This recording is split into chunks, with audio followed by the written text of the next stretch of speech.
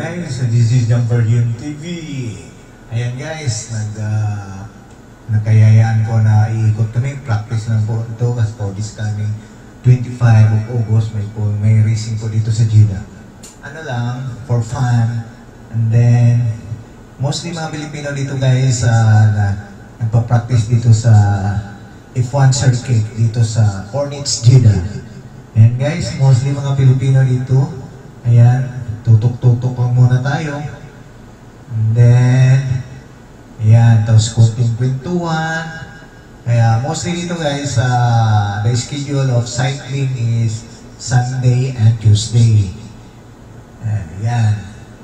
Ang dami na po mga Pilipino dito na nag-cycle. Not only the Filipino but most also are Saudis and the other uh, countries. Ayan, mga Western pa yung iba dito. Ayan.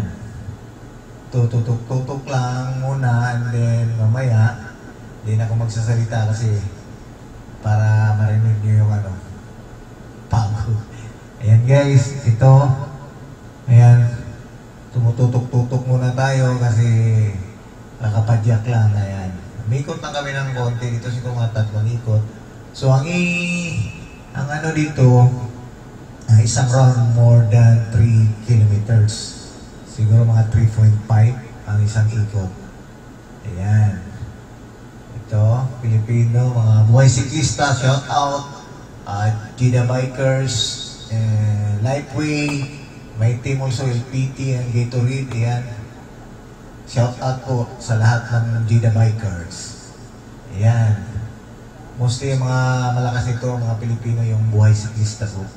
Yan sometimes, may sabay tayo doon pag may time. Yan guys, yun. So, ayan na. Medyo malayo-layo pa. Ayan, okay. Pinapabayaan ko lang ito. Ayan, sige guys. Okay. Go, go, go. Okay. And then, ayan sila. Tutok-tutok lang muna tayo and then mamaya kakapit tayo kasi hirap pag walang kinakapitan. Ayan. Si out Ramil. Ayan. Si Nebuhay Krista. Ayan. Ninyo. Si Hubert. Si Ryan. Si Rakyo. Ryan Pusa. Ayan. Yung mga malakas. Shout out Roms.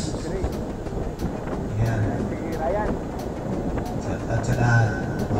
Si Lawili Arman. Team. Yan, mga kasamahan ko sa mga MTV Boys also. MTV Galis Bio. Ayan guys, okay.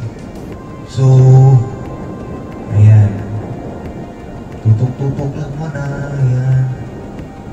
So, pasensya na kayo sa camera ko guys kasi hindi ko na-adjust. Masyado pa lang mababa. Ayan.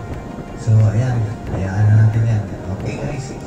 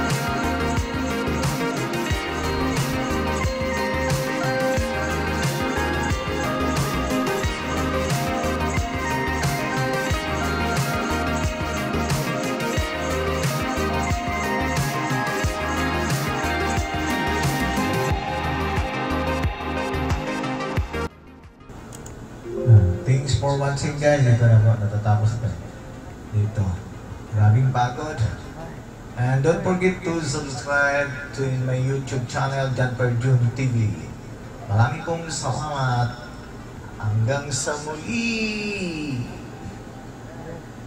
bye bye dan salamat